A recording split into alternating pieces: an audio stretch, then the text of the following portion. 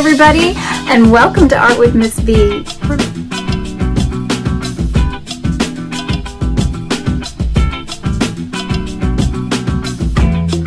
Vasily Kandinsky was born in Russia in 1866. Growing up, he enjoyed music and learned to play the cello and the piano. Kandinsky always loved the beauty of nature and said that even as a child, the colors of nature dazzled him. Both music and colors would have a huge impact on his art. Kandinsky went to college and then became a law professor. However, when he was 30, he decided to change careers and become an artist. Over the next several years, Kandinsky would start to paint what, what would become known as abstract art. He was one of the founding fathers of abstract art. Kandinsky felt that he could express feelings in music through colors and shapes in his paintings. For example, he thought that yellow had the crisp sound of a brass trumpet and that certain colors placed together could harmonize, like the chords on a piano. The shapes he was most interested in were the circle, triangle, and the square. He thought that the triangle could cause aggressive feelings, the square, calm feelings, and the circle, spiritual feelings. Many of his paintings use names as if they were songs or musical works, like composition and improvisation. This is an actual video of Vasily Kandinsky painting in 1926.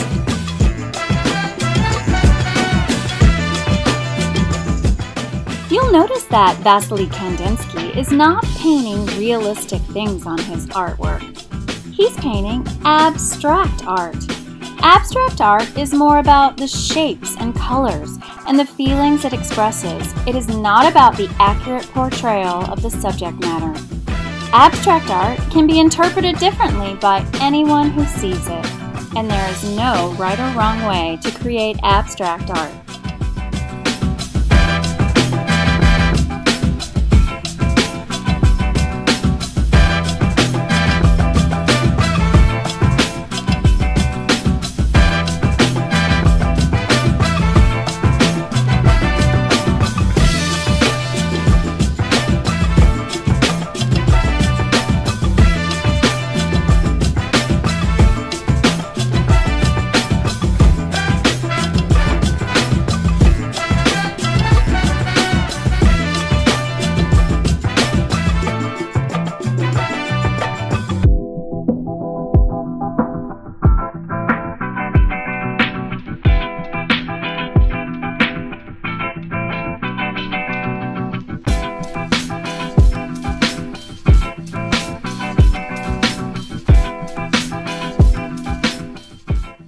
All right, now it's time to start our drawing.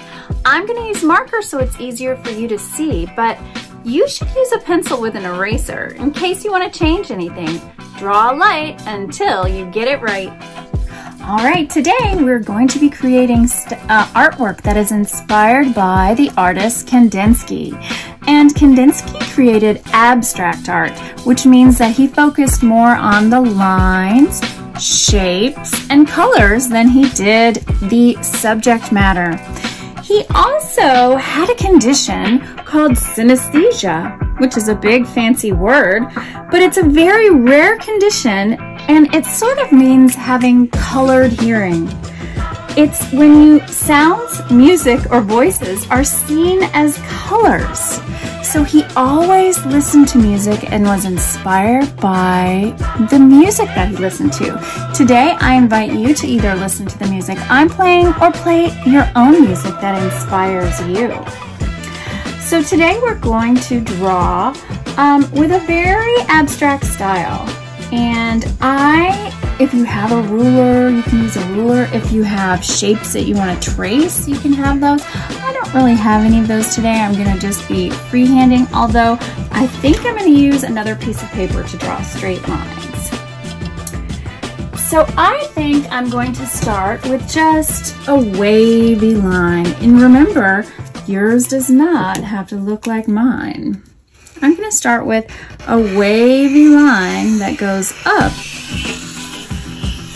and divides my paper.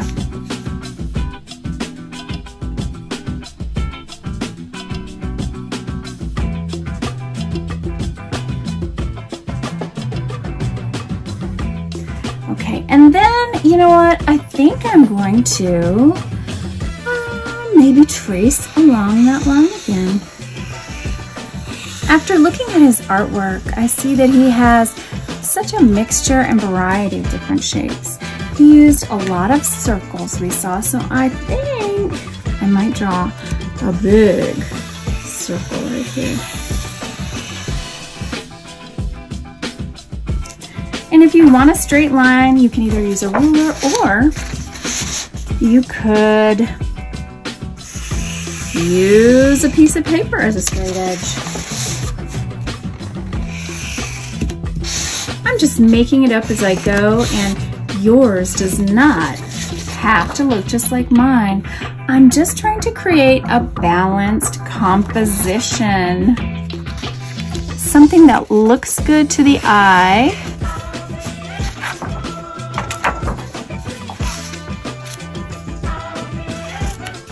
and I'm tracing this paper.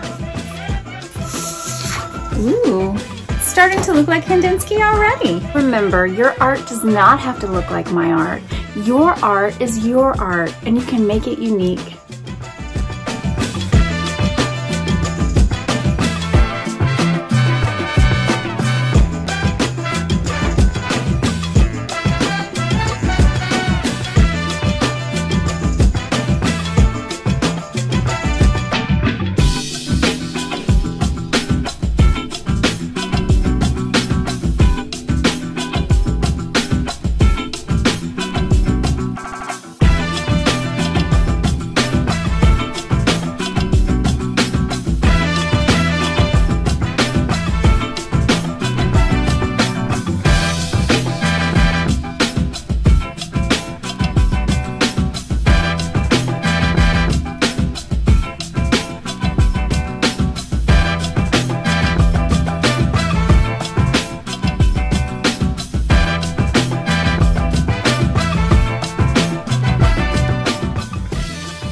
Going to use a combination of organic shapes and geometric shapes to create my artwork.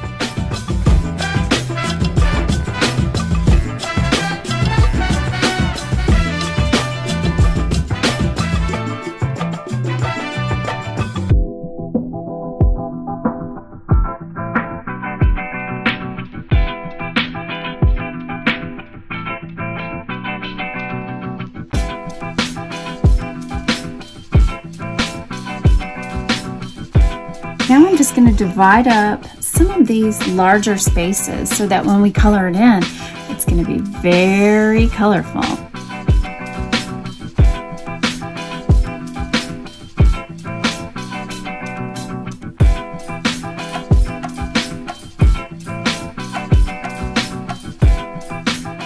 I'm going to make some of the lines thick and some of them thin.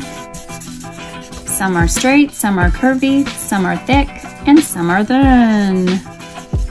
We want to have a variety of shapes and lines and colors in our artwork.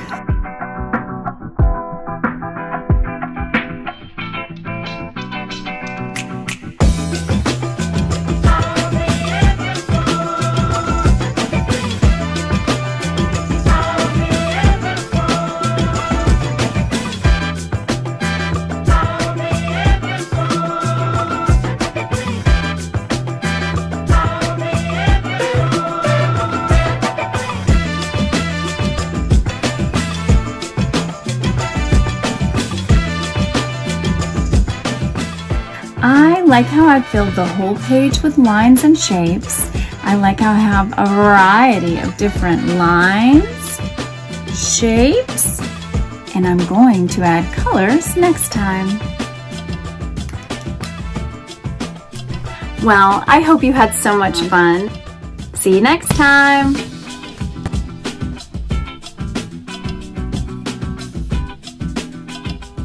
Thanks for joining me for Art with Miss B. I'll see you next time.